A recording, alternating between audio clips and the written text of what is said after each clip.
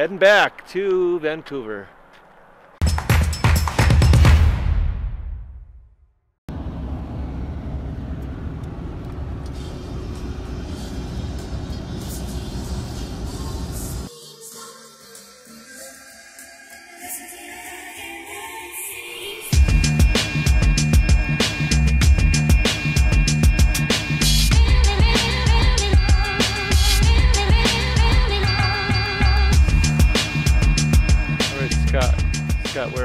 Steamboat Saga?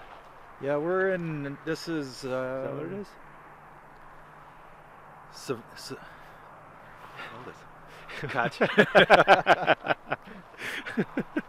we're in. Uh, I think we're trying to figure out where we're at. Steamboat Saga is what the sign says here, but yeah. it's uh, we had to pull over because this this, this is Savanaugh Lake. This, this we're heading.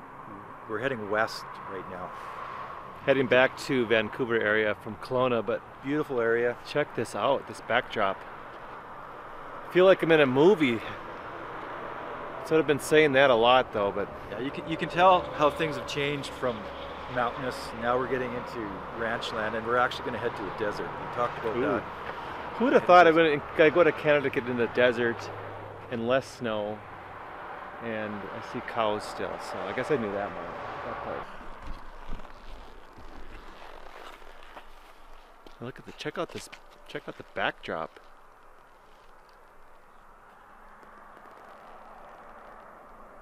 I feel very uh, inferior, very small. All of a sudden, it's so All of a sudden, there's hardly any snow here though. Earlier we were going through, coming out of Kelowna, there was it was just caked on the trees. It looked very, very holiday-ish. It's about the middle of the trip now, and we're heading back to Vancouver, and it's just trying to soak it all in. And I'm going from spacious mountains over and wearing boots, hiking to the ball tomorrow night. So taking it all in as much as I can. Scott thought of something else to do. Another shot. Here he comes. See what he has in store for us. Hey, what are you doing? what are you doing?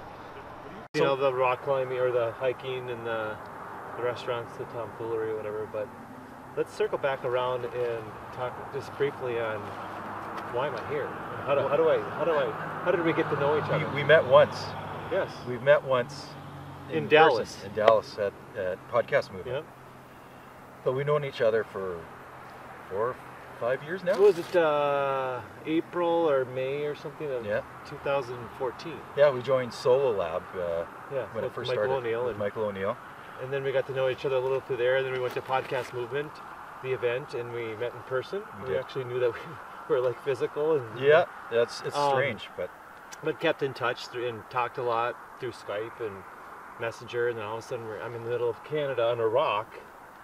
Well, we're- we actually were on each other's show. Too. yes, yes, because So- well, then you interviewed me I interviewed um, for right after I got divorced on my like the Life of Now podcast. That's right. And I still remember but when I look back that it was like at a point when it was really challenging for me to talk about Yeah. still.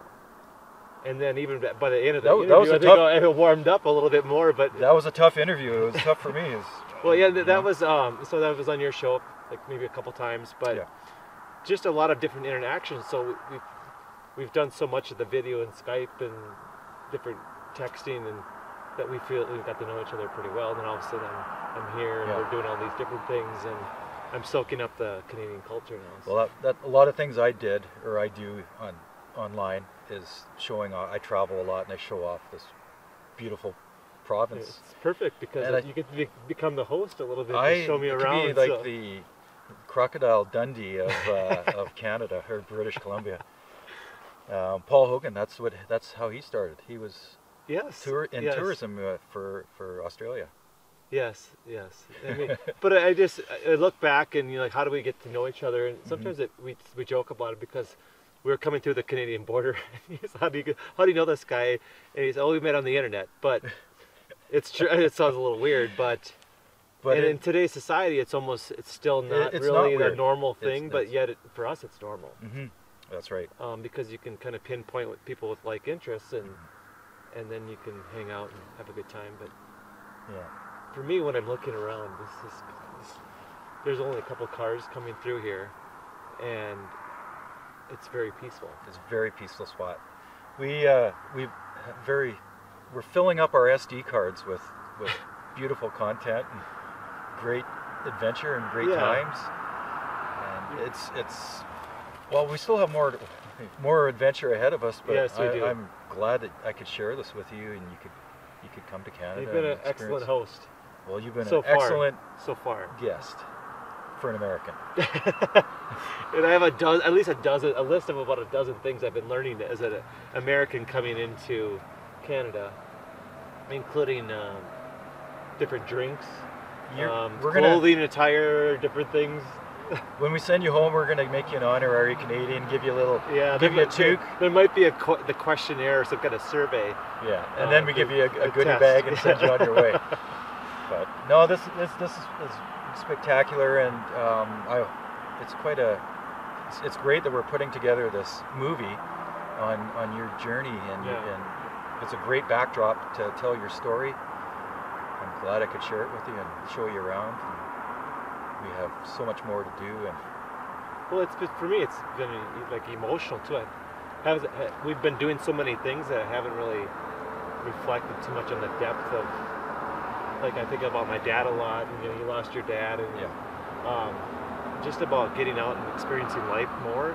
Maybe in the past, what I would have said, maybe I just you know I got stuff to do, I'm busy, and maybe I wouldn't have jumped in the opportunity when it came up to come visit. But well, this is life's too short. this is therapy for me too because my plan it, it as you may know i think we we told you it's canada's 150th birthday this Yeah. year so Let's get my the candles out. yeah my plan was be- before my dad got sick was i was traveling around uh, british columbia and canada to they, they say that every stop has a story in Yeah. canada and i i was going to travel around and tell that story for canada's 150th birthday but then my dad got sick and, and he passed away and i've had to take care of other things but and life gets in the way and that's a little of the storyline too because absolutely yeah. we're all doing everyone has their stresses and their stories and you have to figure out what what's the priority in your life yeah. and kind of handle that but not lose sight of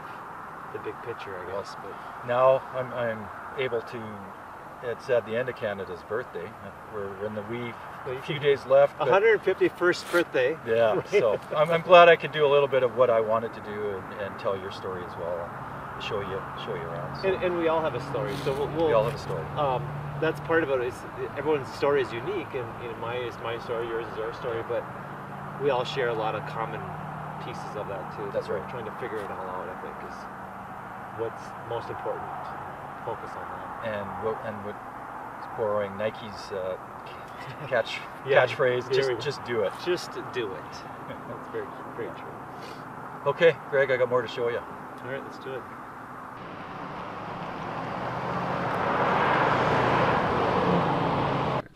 Okay. Greg, let's get some lunch. I want to take you and show you a little place on our route here that I think you might like.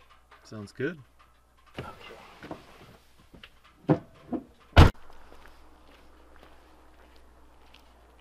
I want to take you show you a little place here.